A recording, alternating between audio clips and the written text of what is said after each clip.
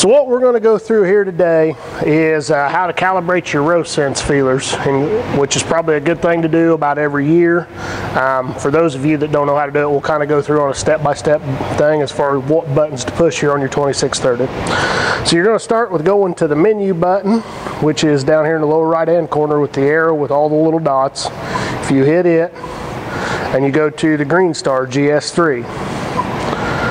From there, what you're going to do is you're going to go to Diagnostics, which is the little wrench and book.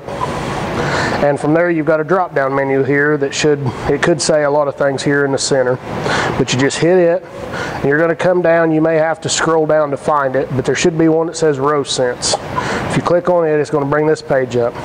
It's telling you that row sensors are available, that you just have an AutoTrac SF1 license. The things we're worried about here are the left and right sensor voltages.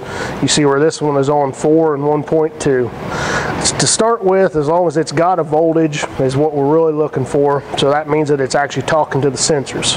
If it is not, that number will be zero and in which case you need to look at either the left or right sensor to try to figure out what's uh, going on, whether it be a loose wire or a bad potentiometer, whichever you need to diagnose that first before it'll calibrate. From there, you just want the sensors in just kind of their static state, not doing anything with them. And what you do is hit this cal button. It should come up with a successful. If it doesn't, there will be something wrong with it that needs to be diagnosed. Um, and it may change these numbers, so don't necessarily take those for too much. And once that is successful, that should be a complete calibration. From there, you should be able to go on to whatever you want to do. Thank you.